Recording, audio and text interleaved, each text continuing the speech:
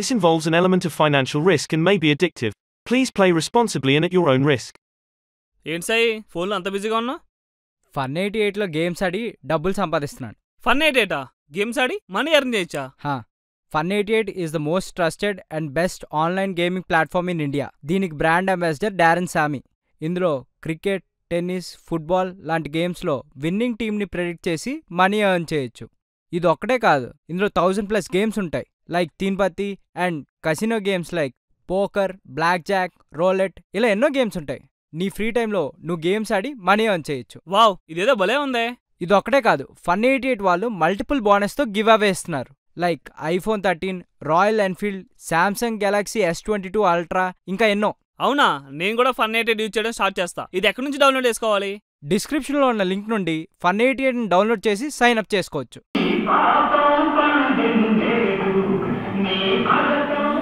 ఏదో ఒకటి చేయి పాగి నా వల్ల కావట్లేదు. వీడికన్నా వీడు పెట్టే మ్యూజికే నాకు టార్చర్గా ఉంది. Hey girls. నువ్వు తాగడానికి మేమే డ్రాప్ చేసి ఇంటికి వచ్చాక నీ హెరాస్మెంట్ కూడా భరించాలా? నువ్వు బయటకు వెళ్ళకూడదు. ఒకవేళ బయట తాగితే ఇక్కడికి రాకూడదు. ఆడెవడో టీవీలో డబ్బులు ఉరికే రావు అంటాడు. అయినా నీకేంట్రా? ఎంత ఓసిగా కష్టపడకుండా కాలు కదలకుండా అలా వచ్చేస్తుంది దేనికైనా రాసి పెట్టి ఉండాలిరా.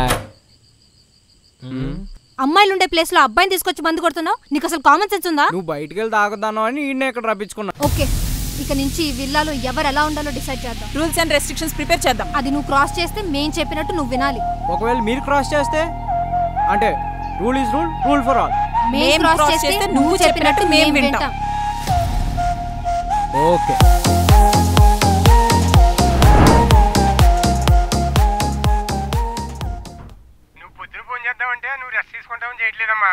సాయంత్రం చేద్దామంటే నువ్వు ఆఫీస్లో ఉంటావు అని చేయట్లేదు. అందుకే కదా నాన్న నువ్వు నన్ను మిస్ అవుతావని నేనే నీకు కాల్ చేసింది.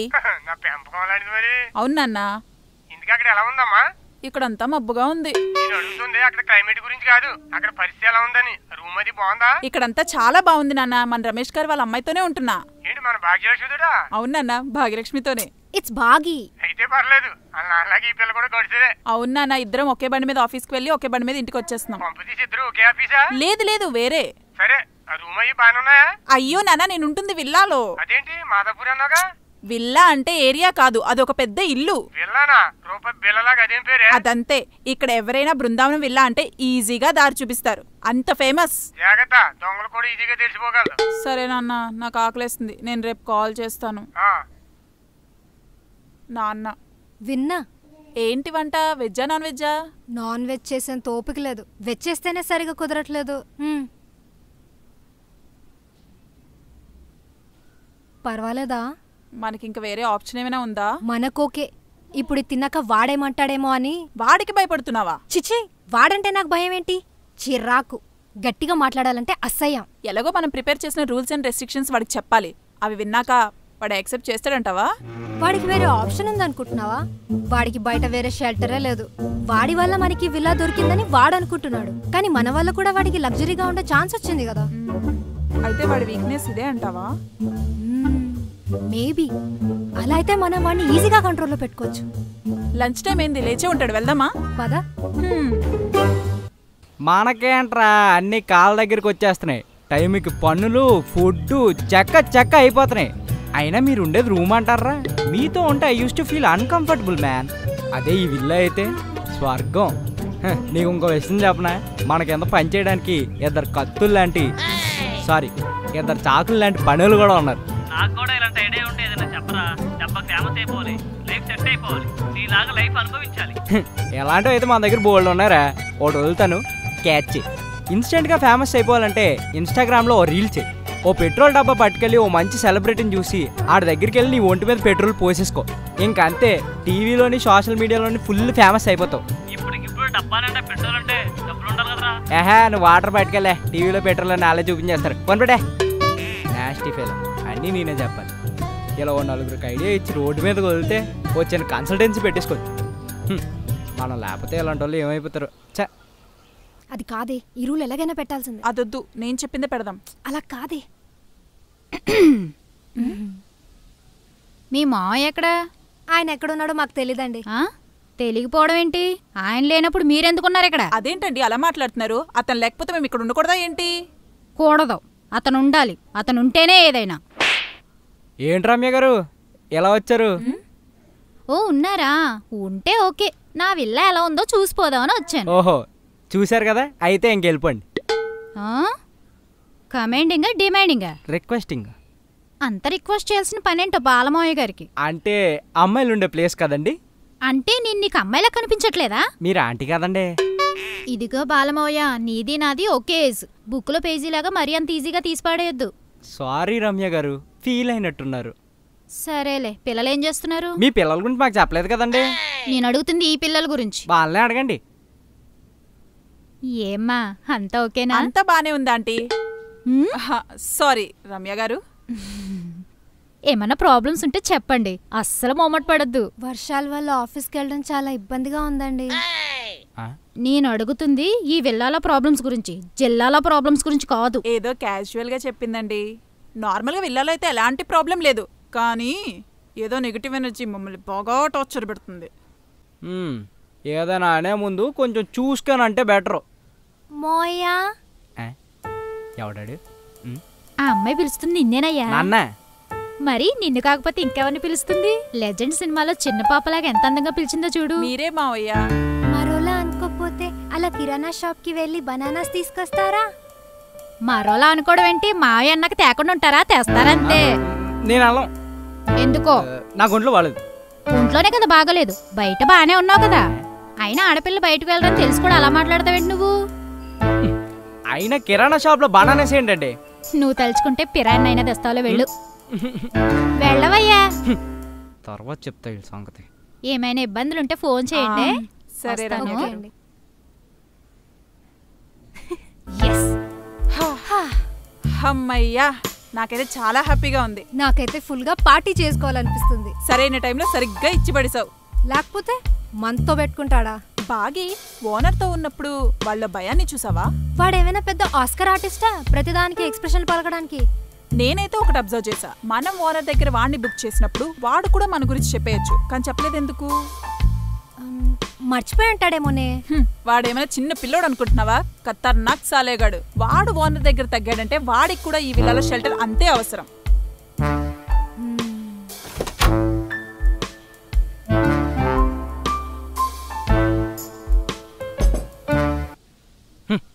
ఇదిగోండి మీ bananas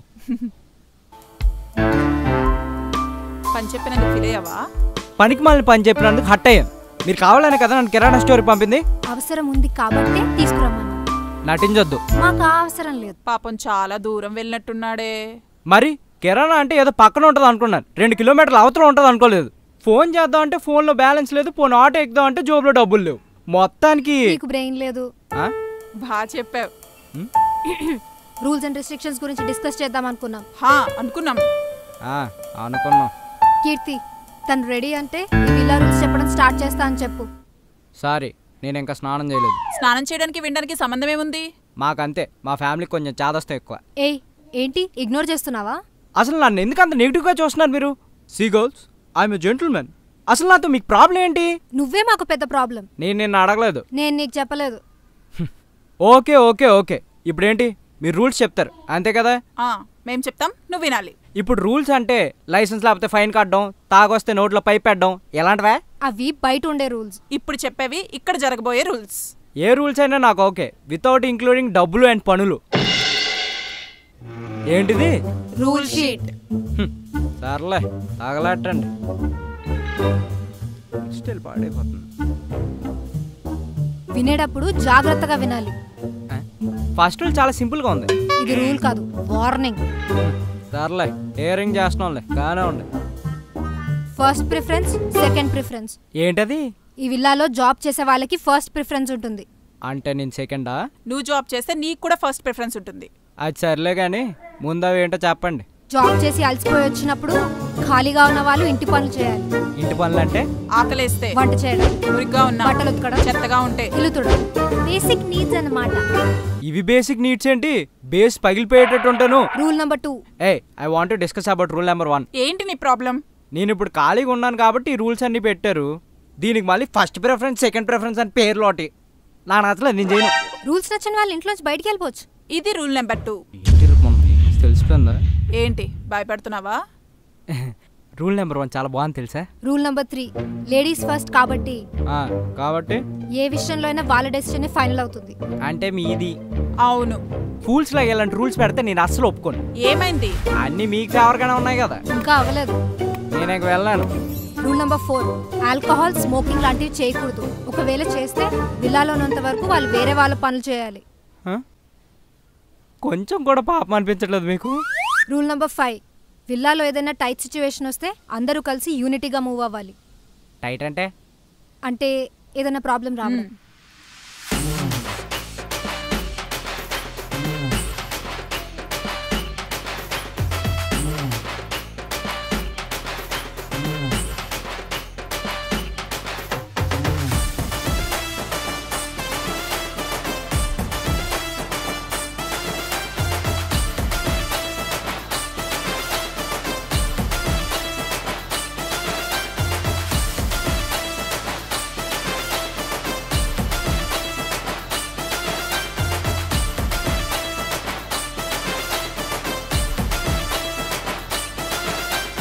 number one forty five ఆ? రూల్ నెంబర్ వన్ ఫార్టీ ఫైవా ఇంకా రావాలి కాదు. ఈ రూల్ సరిపోతాలే వాడికి. అయినా ఇందులో ఒక్క రూల్ అయినా నాకు ఫేవర్గా ఉందా? నీకు ఫేవరబుల్గా లేదని డిసప్పాయింట్ అయితే ఇక్కడ నుంచి వెళ్ళిపోవచ్చు? నేను వెళ్ళిపోతే మీరు కూడా వెళ్ళిపోవాలి. మేమెందుకు వెళ్ళిపోతాం? నా వల్ల మీకు ఈ విల్ల వచ్చింది. అది మర్చిపోకండి. సరే పాయింట్కి వచ్చావు మాతో పాటు ఈ విల్ల నీకు కూడా బాగా అవసరమని మాకు తెలుసు. సో ఈ రూల్స్ అన్ని ఫాలో అయితే ముగ్గురం కలిసి ఉండొచ్చు. లేకపోతే? బయటకు వెళ్ళిపోవచ్చు. ఓనర్ని ఎలా అయితే మేనేజ్ చేసి లోపలికి వచ్చామో వెళ్ళేటప్పుడు అలానే మేనేజ్ చేసి వెళ్ళిపోవాలి. Rule number one hundred and twelve. ఓహో ఇదొకటి ఉందండి మధ్యలో. నువ్వు వినలేదా అంటే గ్యాప్లో చిన్న యాప్ వేసా.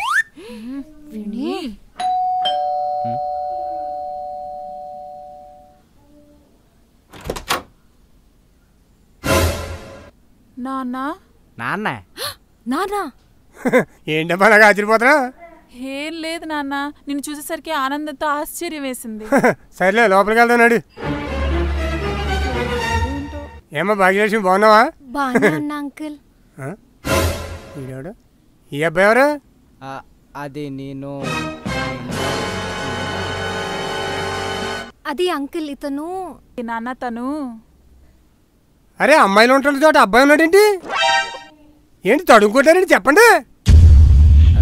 ఇప్పుడు నేనెవరో మీకు తెలియాలి అంతే కదా? చెప్పేస్తాడు అంటావా ఏమో నాకు తెలియదే అరే తెలియాలన్నా కదా ఏం చెప్పవేంటయ్యా ఏంటి వాచ్మెన్ సార్.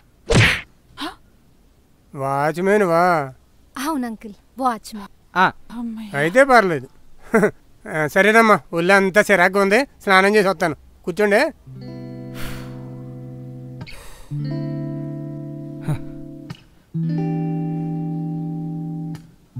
ఏంటి అలా చూస్తున్నారు? Rule number five. ఇంట్లో ఏదైనా టైట్ సిచ్యువేషన్ వచ్చినప్పుడు అందరూ యూనిటీగా ఉండాలి. వాడు చెప్పేస్తాడు అనుకున్నానే ఇలా హెల్ప్ చేస్తారని అస్సలు అనుకోలేదు. చూడ్డానికి ఏదోలా కనిపిస్తాడు కానీ మంచోడే.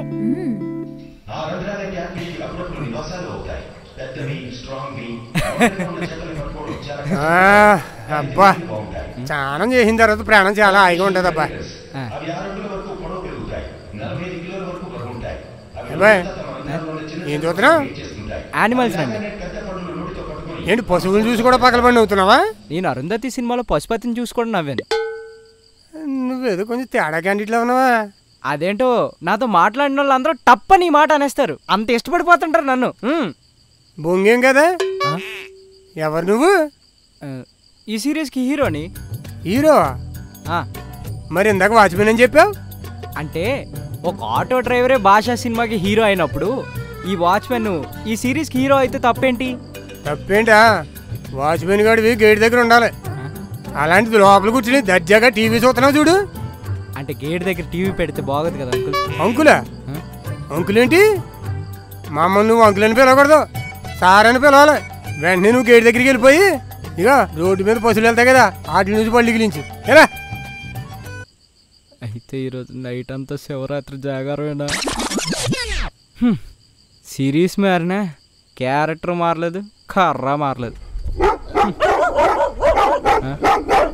okay okay no sympathy I don't like it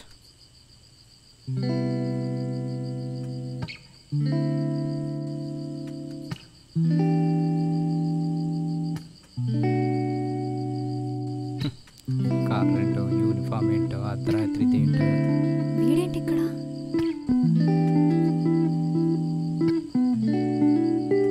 ఏ నిమిషానికి ఏమి జరుగును ఇదేంటి ఇక్కడ ఉన్నావు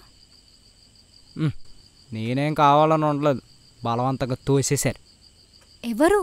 ఇంకెవరు? కెమెరాలుగా వచ్చి ఎక్స్ట్రాలు చేస్తున్న కీర్తి ఫాదర్. అవునా? అదేంటి? అదేంటంటే నేనేదో క్యాజువల్గా మిమ్మల్ని కాపాడదని వాచ్మెన్ అని చెప్పాను. ఆయనేమో కోపంగా యూజువల్లీ వాచ్మెన్ అంటే గేట్ బయట ఉంటాడని ఇది ఇచ్చి ఎక్కడ కూర్చోబెట్టాడు. గంట నుండి బయట ఉన్నాను. ఆకలి వేస్తుంది లోపలికి వద్దాం అంటే కోపంగా చూస్తున్నాడు. ఏం అర్థం కావట్లా? హలో. మన కోసం. అయినా ఇవన్నీ ఎంతవరకులే. ఆయన ఉన్నంతవరకే కదా. ఏదో ఒకటి మేనేజ్ చేద్దాం. సారీ తేజ. మీరు నన్ను పేరుతో పిలుస్తుంటే నా పేరు నాకు కొత్తగా వినిపిస్తుంది. ఇప్పుడు నువ్వు అనేవాడివి మీరు అంటుంటే నాకు నవ్వొస్తుంది ఇదిగో. అంత అనుమానంగా చూడకండి. నేను ఇంకా ఓపెన్ చేయలేదు. అది కాదు. అంటే నా మీద ఇంత కోపం ఉండి కూడా నాకు మీరు ఇది ఇచ్చారంటే మా వల్లే కదా నీకు ఈ పరిస్థితి. కాసేపు వెయిట్ చేయి. ఫుడ్ ఆర్డర్ చేస్తాను.